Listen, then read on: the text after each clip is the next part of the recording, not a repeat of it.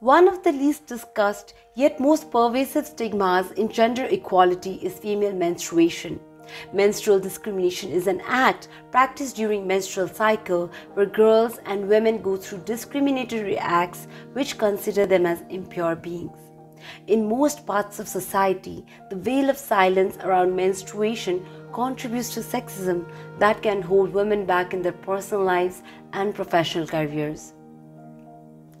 In the country where women are worshipped as Durga, Lakshmi, Saraswati, women are also treated as impure bodies in this patriarchal society of Nepal. Menstruation in Nepal has many names, while the word chaupadi is the local name for menstruation in West Nepal. It is also called Thui, Chaupratha, and so on in other parts of the country, all having negative connotations. The practice and the restrictions remain similar no matter where a Nepali girl lives.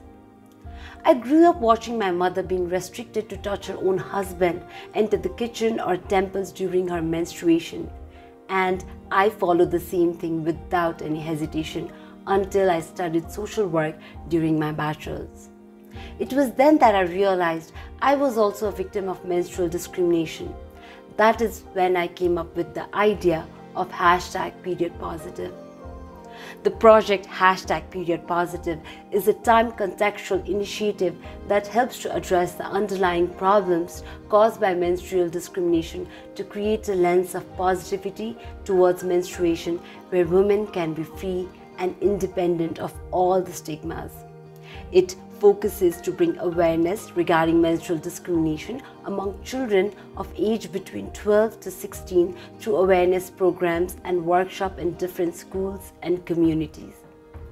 Its main motive is to involve the family as well as their social surroundings in the program in order to bring mutual understanding regarding the issue.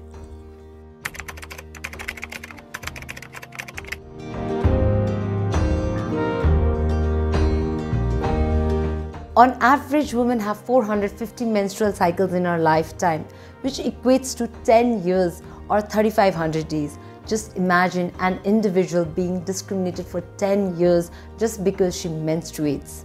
At the age when you're supposed to play, grow, and learn, young girls become the victim of menstrual discrimination, giving them physical, mental, and emotional trauma. This project is very close to my heart and very dear to me as it is something that came out from my personal experience and my bhogai.